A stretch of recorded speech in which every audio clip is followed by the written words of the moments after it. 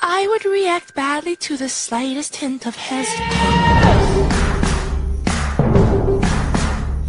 He'd been awkwardly to suit my mood, no word from his defense.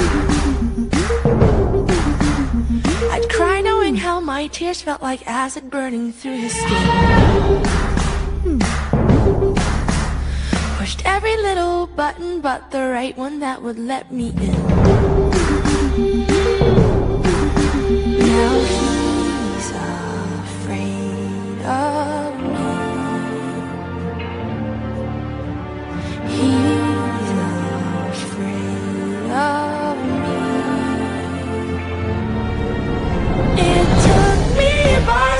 By.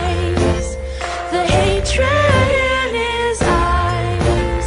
I've pushed this man as far as he could go, but he lacked the words to let me know he acted out. Now I can see it is my fault.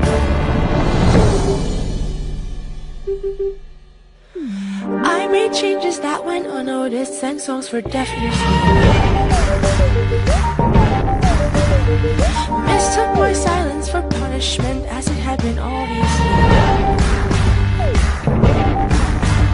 I'd cry knowing